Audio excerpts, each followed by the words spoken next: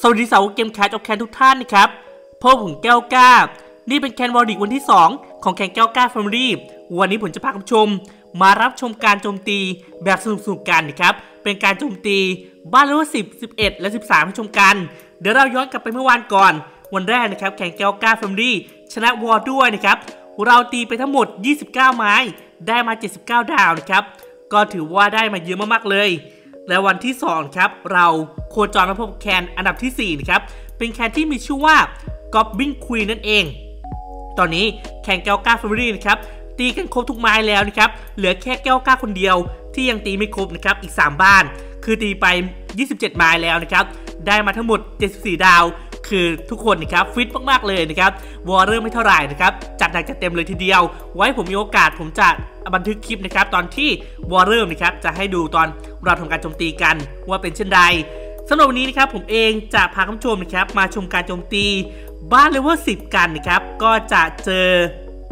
กับบ้านเลเวล9นะครับผมก็เลยมีไอเดียนะครับอยากจะโจมตีแบบสนุกๆกันนะครับไม่บ่อยครั้งที่เราโคจรมาพบ clan ที่ไม่โหดเท่าไหร่นะครับก็เลยจะใช้สูตรนี้นะครับเป็นการใช้อิเล็กโทรนหมูป่า ซึ่งแทบจะไม่ค่อยเห็นใครเล่นนะครับ แต่ว่าเราเล่นได้นะครับ เพราะว่าเราเจอบ้านอ่อนกว่า ก็เลยจะเอาพอมดไป 5 ตัวนะครับ หมูป่า 14 ตัว มีมีไอโคนหนึ่งขวดครับ มีมังกรไฟฟ้าและบอลลูนหนึ่งตัว รวมทั้งเรือเหาะรบ เดี๋ยวเรานะครับจะพาคุณผู้ชมไปสอนแนมกันเลย ก็จะทำการโจมตีบ้านนี้ให้ชมกันนะครับ โดยเราจะทำการโจมตียังไง ก่อนอื่นเลยนะครับ ผมจะทำการใช้อิเล็กโทรนลงไป ก็จะทำการใช้อิเล็กโทรนที่มีนะครับลงไป ทางด้าน ผมว่าตอนแรกนะครับผมจะเข้าทางด้านซ้ายที่ควีนอะผมจะเข้าที่ควีนหรือเข้าที่คิงดีคุณผู้ชมช่วยผมเลือกหน่อยนะครับ จะเลือกยังไงเนาะก็ผมว่าเราเข้าทางด้านขวามือล้วกัน ผมจะทำการปล่อยอิเล็กโทรนไปด้านขวามือนะครับประมาณตรงนี้นะครับแล้วก็ทำการใช้ทางฝั่งของคิงควีนทำการโจมตีกับ Queen ของศัตรูนะครับแล้วเราทำการเข้าด้วยหมูป่าน่าจะได้สามดาวนะครับถ้าเราไม่มีอะไรผิดพลาดโอเคโจมตีเลย ตั้งสติก่อนสตาร์ทนะครับก่อนที่จะทำการโจมตีนะครับเหลืออีก 3 ไม้สุดท้ายแล้วนะครับใน clan แก้วก้า Family มาดูกันว่าแก้วก้าจะเก็บได้เพิ่มเท่าไหร่นะครับโดยไม้นี้นะครับเราใช้เป็น Electro นะครับซึ่งผมเองจะทำการเข้าทางด้านขวามือนะครับโจมตี King ให้ตายลงไปก่อน รวมทั้งด่านแคนด้วยนะครับผมก็จะปล่อยเรือหาะรบที่มีเข้าไป จากนั้นนะครับเรือหาะรบก็จะเข้าไปด้านในทำการใช้น้ำยาบ้าน้ำยาโคลงไปนะครับทางแคนออกมาแล้วนะครับเป็น มังกรไฟฟ้านะครับทำการใช้น้ำยาแช่แข็งแช่ไปที่ป้อมแอร์ซิวิเปอร์แล้วก็ป้อมผูด้านใน ดูเหมือนว่ามังกรไฟฟ้าทำการโจมตีทางด้านล่างครับใส่เข้าไปและทำการโจมตีได้เป็นอย่างดีเลยทีเดียว เราต้องทำการกำจัดมังกรไฟฟ้าให้ตายลงไปนะครับถ้าหากว่าเราใช้หมูป่า และมังกรไฟฟ้าไม่ตายลงไป ขอบอกว่างานหยาบเลยนะครับหยาบขั้นสุดนะครับก็โอเคนะครับมังกรไฟฟ้าก็จะตายลงไป เราทำการโจมตีต่อไปนะครับโดยการใช้คิงและควีน ลงไปทางด้านซ้ายมือ ปล่อยคิงลงไปก่อนครับ แล้วปล่อยควีนลงไป คิงของเราก็จะเข้าทำการโจมตีกับควีนของศัตรูที่อยู่ด้านในนั่นเอง ใช่ไหมใช่ไหมก็จะไปนะครับมังกรไฟฟ้าของเราซีแง่แก่ตายลงไปแล้วนะครับ ผมเองจะทำการใช้สกิลมาลิคิวดาเข้าไป และควีนเข้าไปทำการโจมตีกับควีนของศัตรูนะครับควีนของศัตรูก็ตายลงไป ผมเหลือหมูป่าที่เยอะมากๆเลยนะครับ ขอใช้หมูป่าลงไปจากทางด้านบนละกัน ก็จะปล่อยแบบชิวๆนะ ผมจะปล่อยลงไปแบบชิวๆเลยโอ้โหคือเราเจอบ้านที่อ่อนกว่านะครับ ก็เลยสามารถที่จะเล่นอะไรแผงๆ หรือว่าสนุกๆได้นะครับ คุณผู้ชมก็ถ้าแนะนำนะครับ ไม่ควรเล่นอะไรแบบนี้นะครับ มันเสี่ยงครับ เราอาจจะพลาดได้ แต่ถ้ามั่นใจนะครับว่าจะเก็บสามดาวได้ ก็จัดไปเลยนะครับโอ้ระเบิดยักษ์นะครับสองอัน ผมใช้น้ำยาเพิ่มเลือดไม่ทันนะครับยังดีที่หมาปูของเรานะครับไม่ตายลงไป และคิงของตูก็ยังไม่ตายนะครับ เดินมาไกลมากๆเลยทำการใช้พ่อมดลงไปทางด้านล่างครับแล้วก็ด้านขวาหนึ่งตัว ด้านบนด้านซ้ายนะครับปล่อยลงไป หมูป่าของเรานะครับอยู่ด้านล่างครับโจมตีเข้าไปที่ที่เก็บน้ำดำนะครับแล้วก็ขึ้นที่ไปด้านล่างนั่นเอง ก็คิดว่าไม้นี้น่าจะได้สามดาวนะครับจากการโจมตี หมูป่าค่อยๆขึ้นที่ไปนะครับทางด้านบนโอเคใส่เข้าไปนะครับก็จะได้มา 2 ดาว 95%นะครับ นี่เป็นการเล่นหมูป่าที่เยอะที่สุดเท่าที่แก้วกล้า เคยเอามาลงในวอลลีกเลยนะครับถ้าเล่นจริงๆเนี่ยผมไม่กล้าเอามาเยอะขนาดนี้นะครับ มันเสี่ยงต่อการโจมตีมากๆเลย และเราก็เก็บมาได้ 3 ดาว 100%เต็มนะครับ ผ่านไป 1 ไม้นะครับ เหลืออีก 2 ไม้กับบ้าน 11 และบ้าน 13 ตื่นเต้นนะครับ เราเหลือไม่เยอะมากแล้วนะครับ มาดูกันว่าเราจะทำการโจมตีเพิ่มได้เท่าไหร่นะครับ เดี๋ยวในไม้ที่2นะครับผมเองจำการโจมตี บ้านเลเวล11 นะครับ ซึ่งผมเจอบ้านเลเวล10 ก็จะทำอะไรสนุกๆอีกเช่นเคยครับ มาดูกันว่าเราจะเป็นเช่นไร เดี๋ยวเราไปลุยกันเลยสำหรับคุณผู้ชมท่านใดที่รับชมช่องแก้วก้า แล้วยังไม่ได้กดปุ่มติดตามช่องแก้วก้า อย่าลืมกดปุ่มติดตามนะครับ จะได้ไม่พลาดคลิปใหม่ๆ จากช่องแก้วก้าเลย เรามาชมกันต่อนะครับในไม้ที่ 2 ขอบอกว่าสูตรที่ผมใช้นะครับ เหมือนปกคลิปเลย ก็จะเป็นการใช้สูตรแม่มด และน้ำยาคุมกระดูก เฮ้ย มันจะใช้ได้เหรอในวอริก เดี๋ยวเราไปดูกัน ผมเจอบ้านเลเวลสิบนะครับ เป็นบ้านตรงข้าม ซึ่งสูตรที่ผมใช้นะครับ เป็นการใช้แม่มด 21 ตัว รวมในแคนอีก 2 ตัวนะครับ ก็จะเป็นแม่มดทั้งหมด 23 ตัวนะครับ น้ำยาที่ใช้เป็นน้ำยาโครงกระดูก 6 ขวดครับ รวมทั้งในแคนอีก 2 ขวด ก็จะเป็นน้ำยาโครงกระดูก 8 ขวด สรุปว่าไม้นี้นะครับ เราจะใช้แม่มด 23 ตัว น้ำยาโครงกระดูก โครงกระดูก 8 ขวดนะครับแล้วก็มีรถจกกำแพงเดี๋ยวเราไปดูกันว่าสูตรบ้าๆแบบนี้นะครับเราจะเก็บสำดาวได้หรือไม่ ก็จะพาคุณผู้ชมนะครับไปทำการสอนแนงกันก่อนนะครับกับการโจมตีดูเหมือนว่าบ้านหลังนี้นะครับจะเป็นบ้านเลเวลสิบที่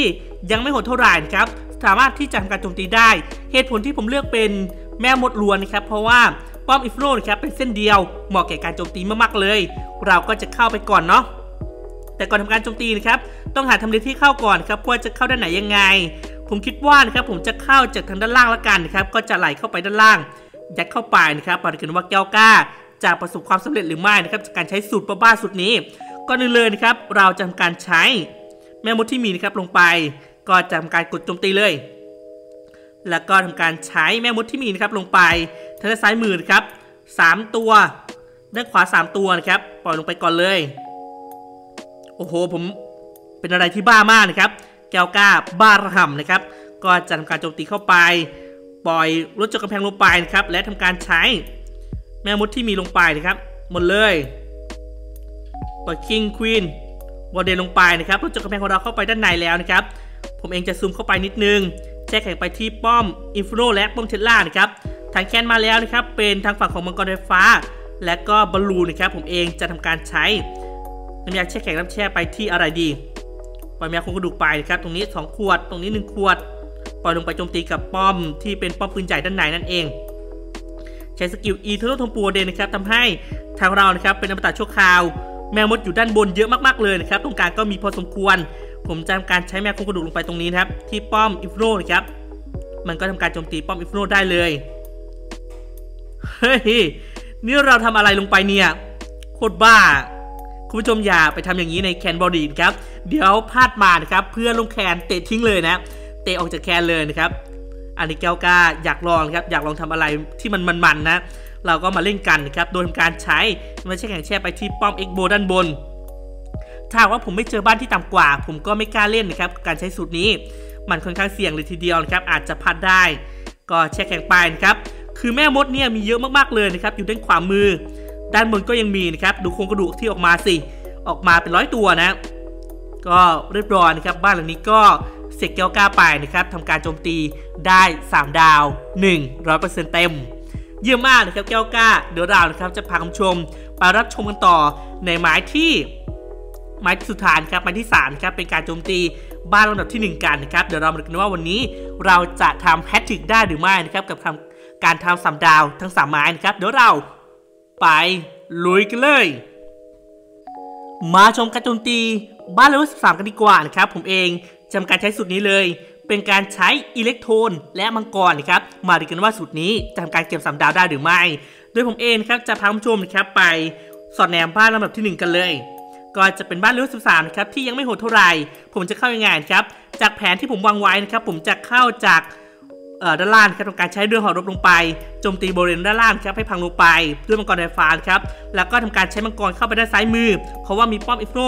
สองป้อมนะครับอยู่ใกล้กันอยากจะพังให้มันพังลงไปก่อน จะเป็นอะไรที่ดีมากๆเลย เดี๋ยวมาดูกันว่าแก้วกล้า จะทำได้ไหมทำได้หรือเปล่านะครับตื่นเต้นนะครับ วันนี้อยากจะเก็บ 9 ดาวให้ชมกันใครที่รับชมมาถึงตอนนี้นะครับ เป็นกำลังใจให้แก้วกล้าด้วยนะครับ อย่าลืมกดติดตามช่องแก้วกล้านะครับ โอเคนะผมจะไม่รอช้านะครับทำการใช้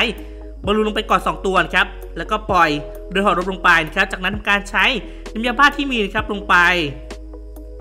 ก็จะปล่อยน้ำยาบ้า น้ำยาโคลงไปนะครับ ปล่อยเรือหอออกมานะครับแล้วทำการแช่แข็งอะไรดี แช่ไปที่มังกรไฟฟ้าละกัน ก็จำการโจมตีบริเวณด้านล่างได้นะครับ ดูเหมือนว่ามังกรไฟฟ้าของเรานะครับถูกป้อมภูนะครับต้องการโจมตีเป็นอย่างมากเลยทีเดียว ก็จะทำการใช้คิงและควีนนะครับลงไปทางด้านซ้ายมือละกัน และเจนะครับผมจะใช้ด้านไหนดี ก็หาทำเลที่ใช้เจก่อนนะครับซึ่งมังกรไฟฟ้าของเรานะครับถูกมังกรไฟฟ้าทำการโจมตี และจะซิ่งแง่แก่ตายลงไปในไม่ช้าครับผมขอปล่อยเจนะครับไปตำแหน่งที่มันมันปล่อยยากนะครับ เดี๋ยวเราค่อยปล่อยละกัน ก็จำการใช้สกิลมาริเทลดาสักเข้าไปนะครับและควีนอยู่ด้านซ้ายมือนะครับก็จะทำการโจมตี ผมว่าผมเองปล่อยเจลงไปตรงนี้แหละ แล้วทำการใช้มังกรลงไปนะครับ บอลลูนลงไป แล้วทำการปล่อยปูเดนลงไปนะครับทำการใช้ในแม่บ้านลงไปเลย ใช้แม่บ้านลงไป 1 ขวดนะครับแช่แข็งไปที่ด้านในนะครับ ก็ทำการโจมตีได้ แล้วก็ทำการใช้สกิลอินโทโทมไม่ได้นะครับปูเดนไม่ยอมเข้าไปด้านในไปด้านในปูเดนแก้วสั่งให้ไปด้านในทำการใช้สกิลชิ่งของเจนะครับซัดเข้าไป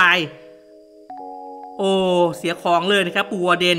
ไม่เข้าไปด้านในนะครับทำให้มังกร ถูกโจมตีนะครับเป็นอย่างมากเลยทีเดียว ตานี้ก็ตะกูตะกักพอสมควรเลยนะครับกับการเล่น คือบังคับยากมากๆเลยนะครับ ผมเองไม่ได้ดังใจเลยนะครับ ก็ทำการโจมตีต่อไปนะครับ ซึ่งมังกรอยู่เหลือเยอะเหมือนกันนะครับ อยู่ด้านขวามือจะเคลื่อนที่ไปด้านบนนะครับ ผมเองจะทำการใช้ skill Eternal Tome ได้ไหมคือปู่เดนเนี่ยไปไม่ค่อยดีเลยทีเดียวนะครับ ไม่เข้าไปกรุ๊ปหมดเลยนะก็ทำการใช้ skill Eternal Tome โอเค มาดูกันว่าแก้วก้าจะเก็บสามดาวได้หรือไม่นะครับ ซึ่งอาวุธที่น่ากลัวนะครับก็จะเป็นป้อมพูที่อยู่ด้านบนนะครับ เรากลัวอันเดียวเลยนะครับ ถ้าป้อมพูไม่พังลงไป โอกาสที่เราจะได้สามดาวก็มีน้อยลง มาลุ้นกันนะครับว่ามังกรของแก้วก้า จะเก็บสามดาวได้หรือไม่นะครับลูกโป่งสีดำทำไมมันมาเยอะจังเลยโอเคนะป้อมพูพังลงไปนะครับอาวุธที่เหลืออยู่ ไม่มีทำการโจมตีได้แล้วนะครับ ยกเว้นเจนะครับที่สามารถทำการโจมตีทางอากาศได้ มังกรที่เหลืออยู่นะครับเหลืออยู่เยอะมากๆเลย ขอดูมุมๆหน่อยนะครับว่ามีสิ่งก่อสร้างเหลืออยู่ไหมหมายนี้แก้วก้า ได้สามดาวดีใจนะได้สามดาวนะ ใช่ไหมถ้าแป๊กมานี่หน้าแตกเลยนะครับ น่าจะได้นะครับ ถ้าเราดูไม่ผิดนะครับเอ็กบัวเอ็กบัวพังลงไปนะครับจากนั้นเหลือเป็น3สิ่งก่อสร้างครับก็จะทำการโจมตีเข้าไปเฮ้ยสิบวิสุดท้ายนะครับ ทันไหม สิ่งก่อสร้างอันสุดท้าย แก้วก้าได้สามดาวฮู้เย่ดีใจนะครับได้สามดาว คือแบบบ้าน13นะครับแทบจะไม่บ่อยครั้งนะครับที่จะเก็บสามดาวได้ สรุปว่าวันนี้นะครับแก้วก้าตีไป3ไม้ได้มาทั้งหมด 9 ดาวนะครับทำให้ตอนนี้แข่งแก้วก้าแฟมิลี่นะครับตีไป 30 ไม้เต็ม เราวอลกันหนักมากเลยนะครับ 30 ไม้นะครับตีไปได้มา 83 ดาวนะครับ ขาดอีกเพียงแค่ 7 ดาวเท่านั้นเองที่แคนเรา เก็บไม่ได้นะครับ เดี๋ยวเรามาดูข้อมูลฤดูกาลกันนะครับ โดยตอนนี้แข่งแก้วก้าแฟมิลี่นครับนำมาเป็นอันดับหนึ่งเลยนะครับ มีอยู่ที่ 172 ดาว ส่วนแคนอันดับที่2นะครับ Family t i นครับก็จะเป็นแคนที่ได้ที่2ครับ มีดาวอยู่ที่ 153 ดาวนะครับ เดี๋ยวเราไปดูการทั้ง 7 วันนะครับ ว่าแก้วก้าจะชนะหรือไม่นะครับ จะได้เลื่อนลีกหรือไม่ ซึ่งผมเองจะทำอย่างนี้ทุกวันเลยนะครับ แล้วก็ผมจะเพิ่มครับก็คือ จะให้ดูตอนที่เพื่อนในแคนครับมาทำการตีกัน ผมจะให้ดูนะครับว่าตีได้เท่าไหร่ยังไง เดี๋ยวจะเอามาให้ชมกันครับเขาบอกว่าทุกคนตีดีมากๆเลย เดี๋ยวเรานะครับไปชมกันต่อในวันพรุ่งนี้นะครับวันนี้ต้องขอตัวลาไปก่อนครับแล้วพบกันใหม่ สวัสดีครับ